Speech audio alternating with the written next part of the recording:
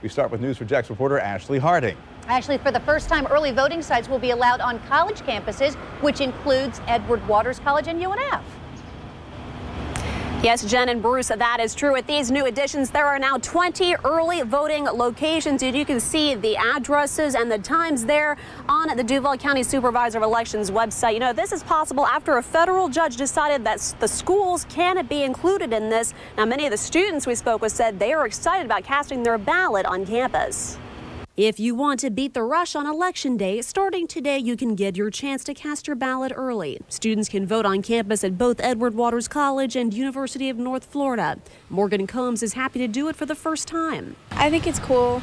It's the first thing I get to do as an adult that I didn't get to do as a child, so I'm really excited to do that. Morgan's not alone. Thousands of local college students are narrowing down their choices as we speak. Some have followed their favorite candidates on social media, and others are getting advice from their peers and doing the research. I'm talking with like my friends and like seeing what I can get from like other like resources and stuff to see who I like best and who like really represents me. And I am told that early voting will be open to the regular public here at the university. Early voters are allowed to park in lot 16, which is right by the Adam Herbert University Center. I am also told that parking will be complimentary for early voters. It's the same story across town at EWC. Students there told us recruiters went out of their way to get students pumped about voting. They would come up to us, I guess, with papers or whatever, be like, you trying to vote? You know, in a charismatic way. And it was pretty cool. Dami Lepidi has voted before and hopes to see other students doing the same for this midterm election. Many people don't even realize the power that we hold as a people. You know,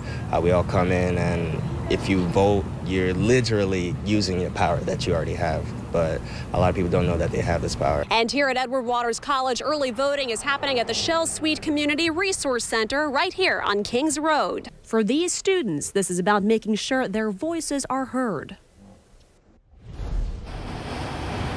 And remember, early voting lasts from now through November 4th, just two days before Election Day. For a full list of all that information, just head to our website, news4jax.com. We're live this morning. Ashley Harding, Channel 4, the local station. Yeah.